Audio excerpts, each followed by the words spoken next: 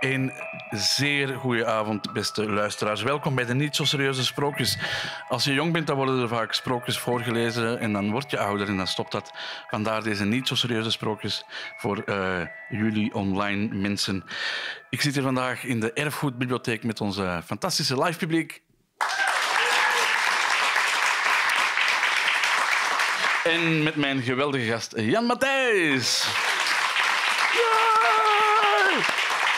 En hoe kan het ook anders? In deze bibliotheek hebben we de langste titel ooit gekregen. De langste titel voor de serieuze sprookjes toch. Um, er waren eens twee mannen die telkens als ze achterom, achterom keken, moesten kiezen tussen twee werelden. Ja, yeah, alright. Ik hoop dat jullie, net als wij, er heel veel zin in hebben.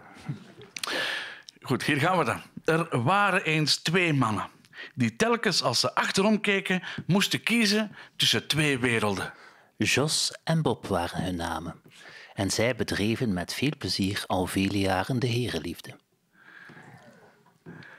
En terwijl ze de herenliefde bedreven, keken ze altijd in dezelfde richting.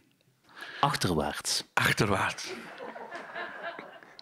En toch hadden ze het gevoel dat er iets niet klopte. Ze gingen niet vooruit. Het leven hield hen tegen. Tot Jos zei... Zeg Bob, kijk een keer voor u.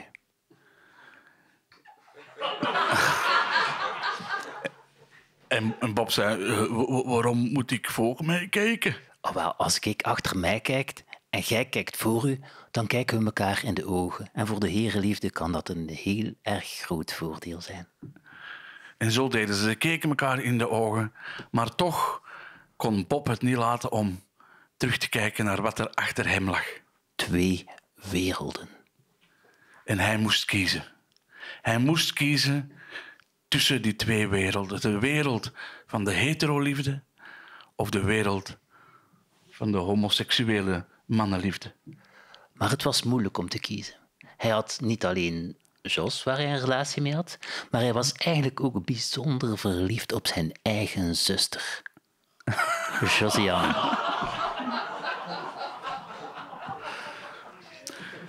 Dus het moet niet gezegd dat deze keuze enorm zwaar was. Van elke keuze waren er wel negatieve en positieve kanten. Ja, Bob was een man, maar Josiane was zijn zuster. Je kunt er al twee geen kinders mee maken. Dus hij ging op zoek naar wijze raad. Wat moet ik kiezen? Want stilstaan is achteruitgaan. Ja, en hij schreef een gele briefkaart naar de VRT. Die hele briefkaart kwam op de VRT toe en de redactie van het laatavondprogramma uh, Keuzes maken met Donaat de Riemaker.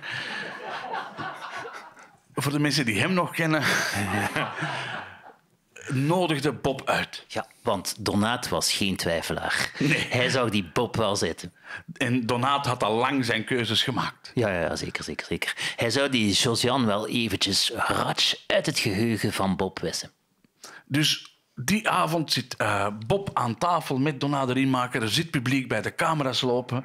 En Donaat vraagt aan Bob, Bob, wat is nu echt het probleem? Moet jij echt kiezen tussen een man en een vrouw? Kan je niet gewoon biseksueel zijn? Bob had daar nog nooit van gehoord. Hij zei, Donaat, leg dat eens uit. Wel, het is een beetje van twee balletjes eten. Hè? Dus, uh, je kunt het enerzijds met vrouwen doen en tegelijkertijd ook achter uren met mannen of omgekeerd. Wauw. Een grote openbaring. dit was een grote openbaring. Alsof twee werelden ineens met elkaar versmolten. En Bob besloot niet te kiezen. Hij besloot van de twee werelden tegelijk te eten. Hij belde met twee telefoons tegelijk. één naar Jos en één naar Josian. En aan alle twee verkondigde hij dezelfde blijde boodschap. Blij dat hij niet moest kiezen. En op een dag was Bob aan het wandelen op straat. Hij had uh, in de ene, aan het ene oor Josian, aan het andere oor Jos. En zo stak hij de straat over. Ja, en zowel Jos als Josian hadden dezelfde reactie. Ze hadden iets van, wat? Smeerlap? Ik doe niet meer mee.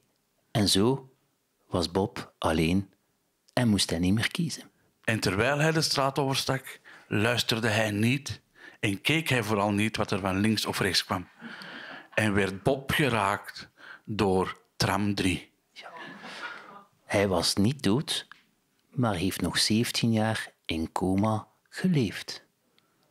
Wat is nu de moraal van dit verhaal? Dat als je niet kiest, dat tram 3 de laatste tram is dat je zult zien. Slaap lekker. In Gent is dan een trolleybus. Dames en heren, dank u wel. Mag ik ook Jan Matthijs bedanken. Jan Matthijs.